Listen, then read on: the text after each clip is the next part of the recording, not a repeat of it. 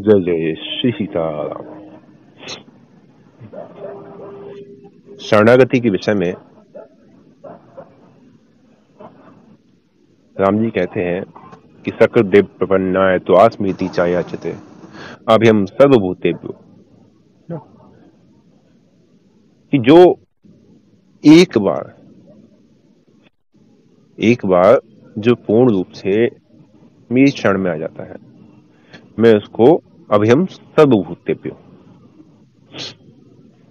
मैं उसको सभी भूत अर्थात जीव मात्र मैं उसको प्राणी मात्र से अभय कर देता हूँ।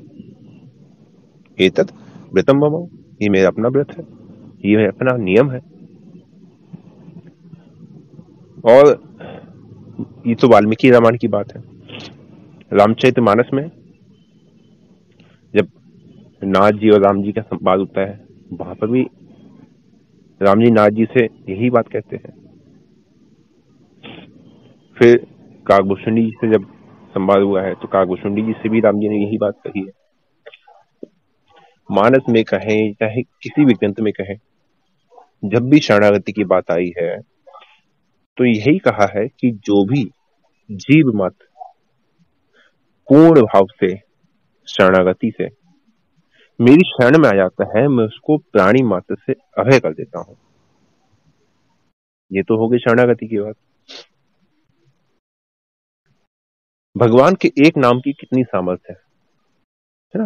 हम लोग तो इतना नाम जब करते हैं, ठीक है, थोड़ा बहुत तो हमसे बन जाता है और आप लोग तो हैं। एक नाम की क्या महिमा है?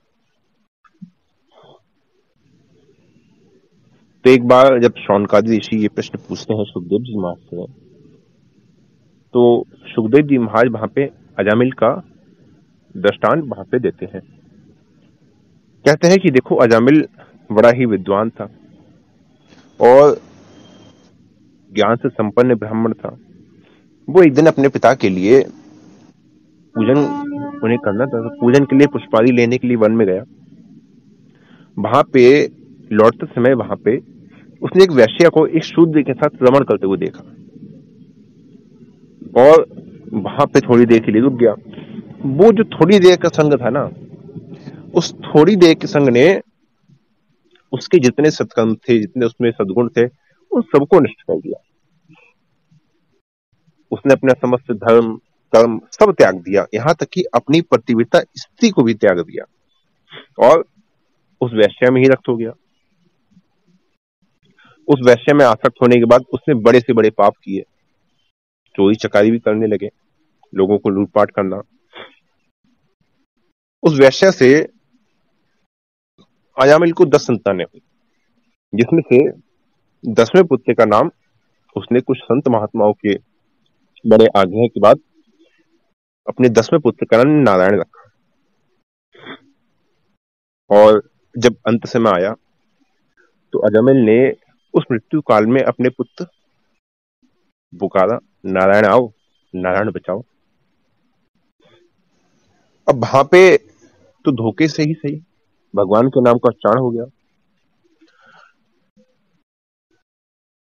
उस धोखे से जो भगवान के नाम का उच्चारण हुआ, उसके कारण ही उसका उद्धार हुआ। इसमें देखिए, इस प्रसंग में दो बातें देखने की है। एक क्षण मात्र का जो दुसंग था, कुसंग था, उससे तो उसका पतन हुआ। और एक क्षण मात्र का, एक क्षण ही तो नामोच्चारण किया था। एक क्षण जो अंतिम क्षण उसने नामोच्चारण किया, उस अंतिम क्षण में नाम उच्चारण से उसका उद्धार हो गया। जिस समय यमदूत अजामिल के शरीर से उसकी आत्मा को निकाल रहे थे, उसी समय नारायण नामोच्चारण के प्रभाव से कुछ भगवान के पास वहाँ पे आ गए। उन्होंने यमदूतों को समझाया कि देखो, ये आपके साथ नरक जाने का अधिकारी नहीं है। इसके जितने पाप थे, वो सब पाप नष्ट हो चुके हैं। तो यमदूतों ने भगवान के दूतों से कहा कि वेद प्रणितो धर्मो, हा धर्म स्थिति पर दिया कि देखो, वेद में जो कर्तव्य बताए गए हैं वेदों में जो कर्तव्य बताए गए हैं, वही धर्म है। और उसके वेद के विरुद्ध जो कर्म किया जाता है, शास्त्रों की जो आज्ञा है, मर्यादा है, उसके विरुद्ध जो कर्म किया जाता है, वो जो भी कर्म है, वो अधर्म की संज्ञा में आते हैं। ऐसा कहकर उन यमदूतों ने, भगवान के दूतों को, अजामिल के जितने भी वेद विरुद्ध जितने भी कर्म थे, वो सब कर्म का इतिहास गिनाया। और कहा कि देखो ये ये ये इनके कर्म थे, और इस कारण हम इनको अभी हम लोग ले जा रहे हैं। इस पर भगवान के दूतों ने उन्हें भागवत धर्म बताते हुए कहा कि देखो, इस ब्राह्मण ने एक जन्म तो क्या। कोटि बेप बदला गही जाहू आयऊ शरण तजऊ नहीं ताहू। कि देखो, इस ब्राह्मण ने एक जन्म तो क्या। अपने करोड़ों जन्मों के पाप का प्रायश्चित कर दिया है। क्यों? क्योंकि विवसहु जासु नाम नर कही जन्म अनेक रचित अगदही विवश, यहाँ पे विवश हो गया था ना, मृत्यु काल में विवश हो गया। और उस विवस्था में उसने अंत समय भगवान के नाम को उच्चारण किया। तो विवसहु जासु नाम नर कही जन्म अनेक रचित अग अगदही जन्म अनेक। तो करोड़ों जन्मों के जो अग है, पाप है, उनका दहन हो गया। तो वही भगवान के दूतों ने कहा कि देखो, इसके करोड़ों जो पुण्य पाप थे, अभी के नहीं, इस जन्म के नहीं, पिछले जन्म के मिला के जो कितने भी उसके पाप थे, उन सब का प्रायश्चित हो गया है। क्यों? क्योंकि अंत में इसने विवश होकर ही सही मोक्ष प्रदान करने वाले भगवान के नाम का उच्चारण किया है।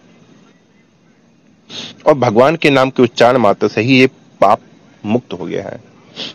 वो पाप चाहे कैसा भी हो, स्वर्ण चुराने वाला, मित्र से दो करने वाला ब्राह्मण स्त्री राजा पिता माता या फिर गौ हत्या करने वाला। इसके अलावा गुरु की स्त्री के साथ बुरा संबंध रखने वाला मदरा पीने वाला और भी जो बड़े बड़े जितने भी पाप कहे गए हैं उन सब के लिए उन सब के लिए एकमात्र जो प्रायश्चित कहा गया है वो भगवान नाम कहा गया है। क्यों? क्योंकि भगवान नाम का प्रभाव ऐसा है कि सूर्य निहारवत कि भगवान नाम के प्रभाव से पापों का जितना धुंध होती है, पापों का जितना कोहरा होता है, वो स्वतः ही छट जाता है।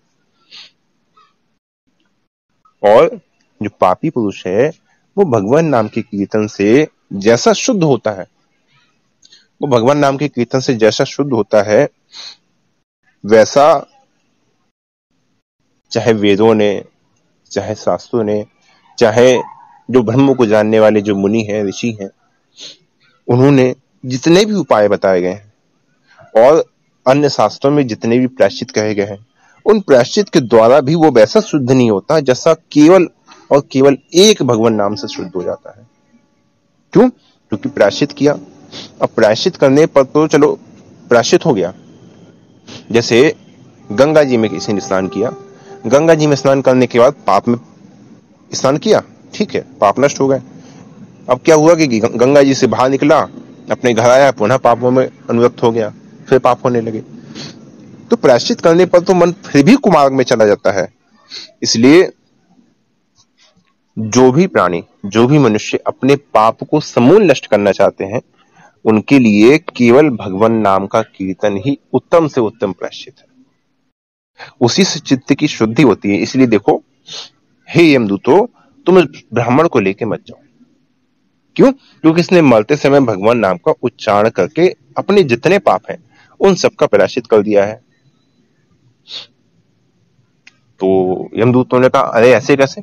भगवान का नाम ऐसे थोड़ी लिया है कि तुमने कहा भगवान का नाम ले लिया। तुम्हारे कहने से हम कैसे मान लेंगे? इसने तो अपने पुत्र को पुकारा। इसने इसने तो अपने पुत्र को पुकारा है। भगवान का नाम थोड़ी लिया। ना इसने भगवान को मान के भगवान का नाम लिया। इसने तो अपने पुत्र को बुला बुलाया कि नारायण आओ नारायण उछाओ तो भगवत दूतों ने कहा कि ठीक है भैया बड़े अच्छा तुम्हारा तुमने जो बात उठाई है तुम्हारा प्रश्न तो अच्छा है अब इसका भी सुनो सांकेत्यम पारिहासिम्बा स्तुवम हेलन में बाबा चार बातें कही सांकेत्यम है ना सांकेतम पारिहासिम्बा संकेत में संकेत में कैसे लिया? पुत्र के संकेत में यहाँ पे नाम लिया पुत्र को संकेत करके नाम लिया ना? पारिहास परिहास में। हास प्रयास में हो या स्तुति में हो या अवहेलना में हो, किसी भी प्रकार से। जैसे कोई कहे ना हाँ बड़े बने आए राम जी के भक्त। देखो तो इनके जैसे कितने राम जी के भक्त डोल रहे हैं। ऐसे कहते हुए उसने राम जी का नाम लिया ना। हो गया, काम हो गया उसका। तो भगवान के दूत कहते हैं कि देखो, इस प्रकार से भी यदि भगवान का नाम लिया जाए तो भी कल्याण करता है। आप कहीं ऊंचाई पे खड़े हैं, ऊंचाई से गिर गए, चलते हुए पैर फिसल गया, है ना? कहीं सब्ज़ी काट रहे हैं, जो गृहिणियाँ हैं, घर में सब्ज़ी काट रही हैं, हाथ कट गया, छुरी लग गई, राम राम राम राम। ठीक है, नाम आ गया ना? जंगल में गए, सांप ने काट लिया या आग से जल गए, चोट लग गई, निद्रा में जा रहे हैं, राम राम, निद्रा से उठे राम राम।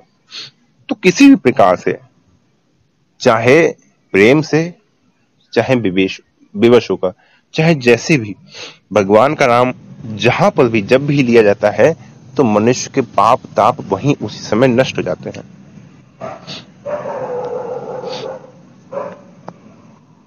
तो सुखदेव जी कहते हैं कि देखो मृत्यु के समय केवल पुत्र का ही तो नाम लिया था। तो पुत्र का नाम लेने से भी भगवान के नाम का उच्चारण कर जो महापापी अजमिल था, वो भी भगवान धाम को जाने का अधिकारी हो गया। यदि भी उस समय भगवत धाम की प्राप्ति नहीं हुई थी, उसके बाद उसकी फिर आँखें खुली, उसने देखा कि सारा दृश्य अदृश्य हो गया। वापस फिर हरिद्वार चला गया, वहाँ जाके तपस्या करी, भगवान का भजन किया, और उसके बाद जब शरीर पूरा हो फिर भगवत धाम को प्रयाण किया। तो सुखदेव जी कहते हैं कि देखो, संकेत में, अवहेलना में, जब इस प्रकार से लेने पर भी भगवान का नाम कल्याण करता है तो फिर जो व्यक्ति श्रद्धा से भगवान के नाम का उच्चारण करते हैं, भगवान के नाम का कीर्तन करते हैं, फिर उनके मुक्त होने में संदेह कैसे हो सकता है? समझे ना बात को? मन नहीं लगता, नहीं, कोई बात नहीं। ठीक है, हमारा मन नहीं लगता।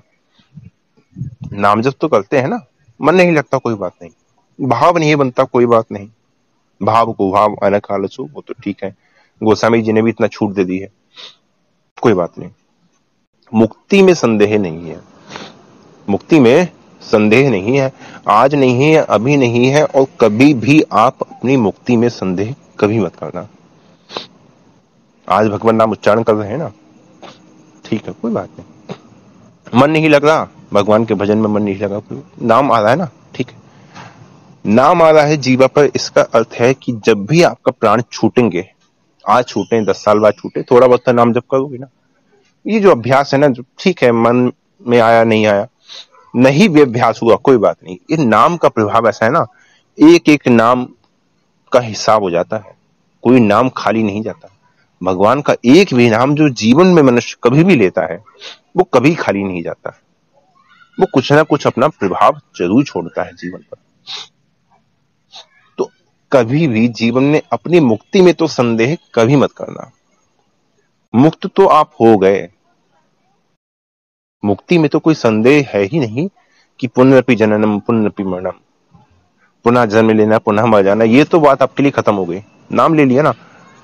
क्या है? विश्वास करो। बिनु विश्वास भक्ति नहीं, ते ही बिन वही नाम सबसे पहला काम भक्ति में यही है कि भाई विश्वास कर लो। विश्वास किस पे कर लो? जो कुछ साधन कर रहे हो। जो साधन आपके पास है, जो कर रहे हो, उस पर विश्वास कर लो। नाम आपके पास है, नाम का कीर्तन करते हो, नाम का जप करते हो तो सबसे पहले तो उस नाम पर विश्वास कर लो। विश्वास क्या? विश्वास यही कि नाम की महिमा इतनी प्रचंड है कि जारी करे सब उछाल। कि जितने पाप, ताप, संताप है, सबको जला के नष्ट कर देती है। और मनुष्य को मुक्त कर देती है। मनुष्य सीधे भगवत धाम को जाता है। लेकिन यदि मुक्ति ही आपका लक्ष्य है, फिर तो कोई बात ही नहीं है। फिर तो दूसरा कोई प्रश्न ही नहीं उठता।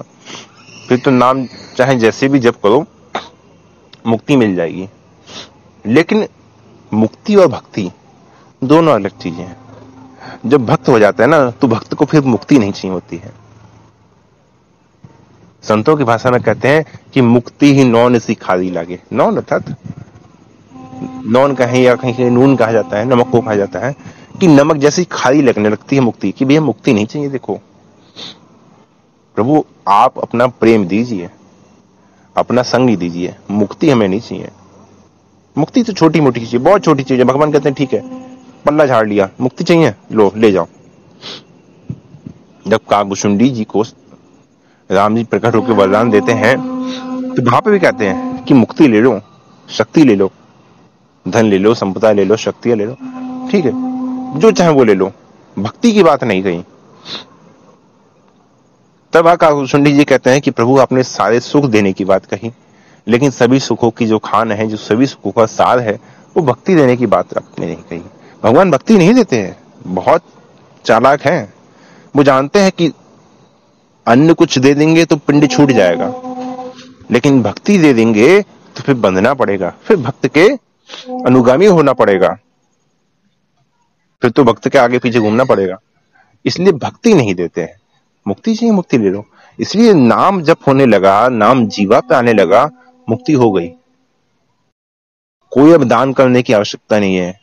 कहीं पुण्य करने की आवश्यकता नहीं है। अब कहीं तीर्थों में जाने की आवश्यकता नहीं रही अब कहीं किसी साधन में लगने की आवश्यकता नहीं रही। कोई यज्ञ करने की आवश्यकता नहीं रही, कोई तप करने की आवश्यकता नहीं रही। किसी की आवश्यकता नहीं है। नाम जप हो गया ना, बस मुक्ति हो गई। तो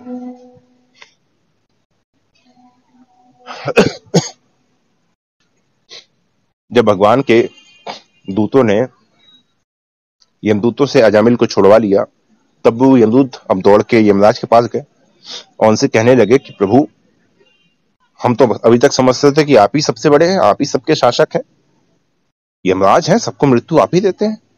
समय आता है तो देवताओं को भी निकल जाते हैं। तो हम तो समझते थे, आपका ही सब पे शासन है। लेकिन पता है प्रभु, आज क्या हुआ? आज हम आपकी आज्ञा से एक पापी को लेने गए तो पता नहीं कहाँ से वहाँ पे चार बड़े सुंदर आदमी आ गए और उसने हमारे हाथों से छीन लिया। तो हम बस ये जानना चाहते हैं कि आप हमें कृपा करके ये बताइए कि वो कौन थे? कि आपसे भी बढ़कर कोई और शासन करने वाला है? तो यमराज ने कहा कि, भाई, बड़े, ये तो बड़ा अच्छा हुआ कि तुम लोग बचकर आ गए। यदि वहाँ पे कुछ ज़्यादा चू चपड़ करते तो तुम्हारे नाम की चिट्ठी आती। कि इन्हें सस्पेंड करो। फिर जाते नौकरी से भी। इसलिए बढ़िया है तुम बच के आ गए। सुनो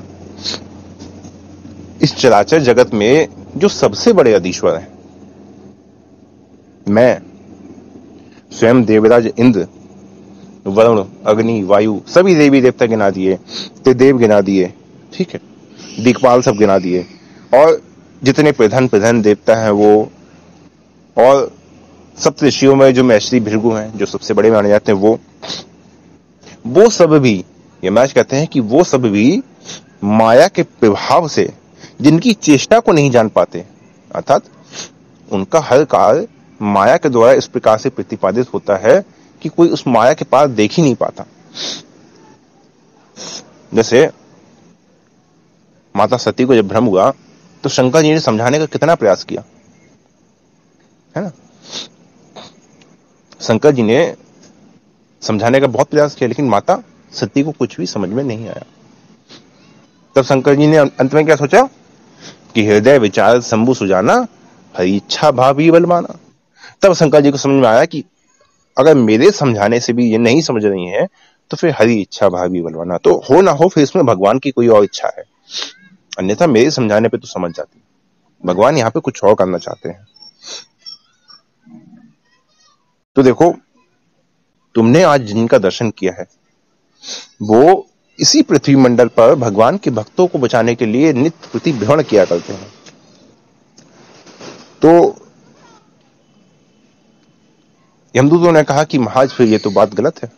भाई, हम किसी को लेने जाए और पता चला कि वो फिर से आ जाए, फिर से हमें वहाँ से भागना पड़े। आज बड़ी बेज्जती होती है, आप क्या समझो?